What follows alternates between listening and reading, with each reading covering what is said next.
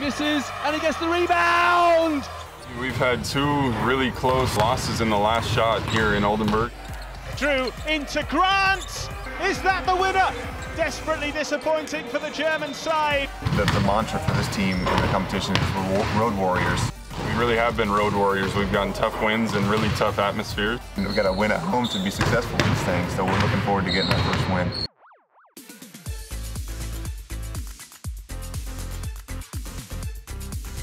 Really a quick turnaround for us. We just played yesterday, practiced today, and now refocus on, on PAOK. We had the pleasure of uh, playing PAOK last year. It was electric. A lot of fans from Greece showed up. It was a great atmosphere here. We watched a lot of film on them, and we know it's going to be a tough match coming into it. Uh, I'm expecting a real physical game. We know they have a lot of good big men. We know they're going to have a good crowd, so we just have to come and play our best game and try to win.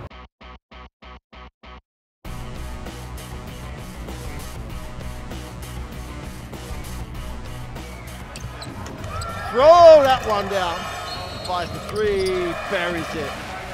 Quick release by Schubert, buried. Sweet release. Great hands.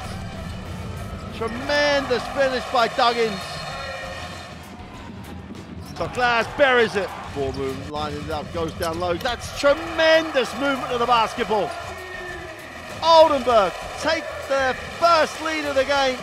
Stops, fires for three. Oh, right on cue. Kramer, foul line. Duval for two. So the crowd get to see the first home win for their team.